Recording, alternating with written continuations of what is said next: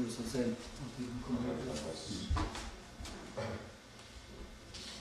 А, уже забрали.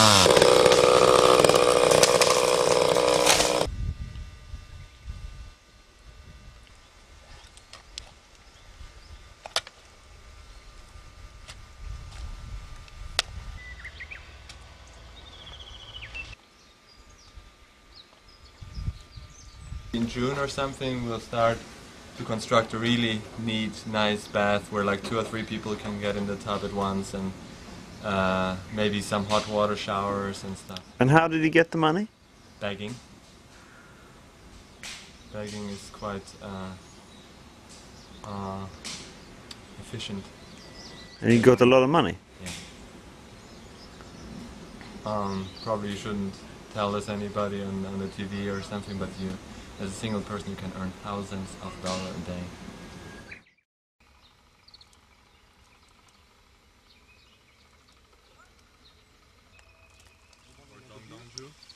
Good combination. I wanted to bring some from Korea, but it's a very, it's a living alcohol, so the bottle's never completely closed.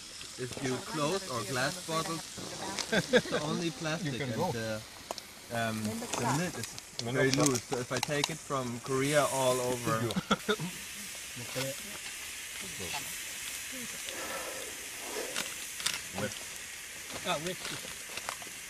Nice, nice, nice.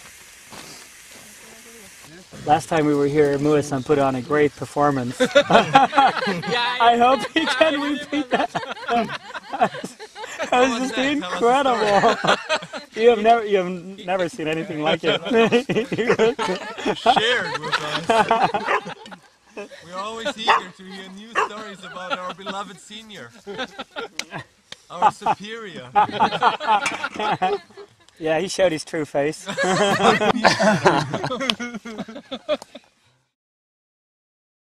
we would like your a bit of your life story. Mm. I mean, first encounter with Zen. How did that happen? Mm. Yeah, I was 16 and I lived in boarding school. And I wasn't interested in religion, in Buddhism, and especially I wasn't interested in meditation. Uh, but there was a small meditation circle, and one of the um, teachers there was responsible for that meditation circle. And he called it uh, meditation in the style of Zen. So he asked me, Well, uh, have you tried it? And I said, No, I've never tried it, I'm not interested in this. Then, well, he says, Well, how can you know if you have never tried? So I went there with the intention to do it only once. Uh, but then it turned out that for one year I was the only one who came all the time. Why did you go back to do that sitting? If I don't know, there, there was a certain pull, and also for the first time I had the feeling that I've really contact with my body. I felt my body for the first time. Until then, my body was just a vehicle, a tool to sort of entertain my mind. So I didn't have a really close connection with the body. I didn't think of the body as myself. And I didn't really know my body. I never um, had paid attention to physical um, awareness, like, like pain, for example, or to my breath, to my heartbeat. That was completely new, and I think that was what in the first time always pulled me there all the time and I really, yeah, in, I enjoyed it. Although I didn't have all these fancy experiences everybody else had. Until that time, I had no, really no idea what I was doing, and I started to read books on Zen for the first time. Then, after almost one year of sitting, I heard about things like Satori. For many people, it's the other way around. First, they hear Satori, and then they hear to get Satori, you have to do Zazen. For me, that was first the physical experience. And then I heard there's something like Satori, the solution to all the problems, the answer to everything. From the time I was nine or ten years old, there was this question uh, if I have to die someday, then in that moment, it will not have mattered if I had a happy life or an unhappy life, if I have lived for 100 years or only for 10 years, if I have committed suicide, if I have uh, been father of 12 children, if I've been a mass murderer, it won't make any difference in the moment when I die. Because, well, then I'm gone. So, why bother to live at all? And when I read Suzuki, I thought, or Kapleau, I thought, well, this feels fine. I feel my body, it feels good, although I not, I'm not knowing what I'm actually doing. And plus, I could find all the answers to all these doubts I had and never solved, and nobody could answer to me. There came to be a distance between myself and the practice because now I couldn't be content with sitting alone anymore mm. because I was waiting for this moment where not only I was feeling good in the sitting, but also the answer would be there to all those questions. So you got caught in the enlightenment Exactly, exactly. I got I got caught in that uh, pitfall everybody falls into. And then I went for one year to Japan in 22, and they gave me the address of Shohaku-san. I was supposed to study in Kyoto for 12 months, but I was dissatisf dissatisfied with the situation there. So after six months, I quit and went to Antaiji through Shohaku-san's introduction. Ah. And when I went here, I thought, well, this is really it. What is it that draws me there to sit in, on a cushion in front of the wall. I couldn't, couldn't, well, I could give many explanations, but none that would satisfy myself. And even now, I couldn't tell you why I'm doing this. If you want to express it in a negative way, it's a kind of addiction. An addiction. Yeah. yeah. So you um, you don't feel good if you don't if you can't sit. For a long time, that was the case. I couldn't couldn't do without for more than two weeks or at the most two months.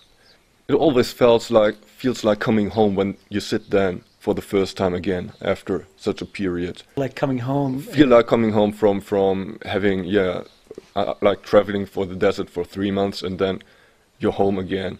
But it took me a very long time, and I lost energy in zazen. When you when you have this idea, there's satori maybe only one step away. You're very ambitious, and when you hear, well, the satori isn't isn't waiting there for you. It's just the sitting itself. Um, no need to fight. Then you lose all this energy Yeah. because well, the carrot isn't hanging there anymore. Right. And were you just as excited about it as you had expected? No, not at all. What Uh, it, happened? it, it uh, proved to be yeah the exact opposite of what I had expected. Well, uh, it was not the girl you had fell in love with, or it was a different Exactly, girl. exactly. Yeah, as with girls, yeah, when when you move in with her, she proves to be yeah not the one.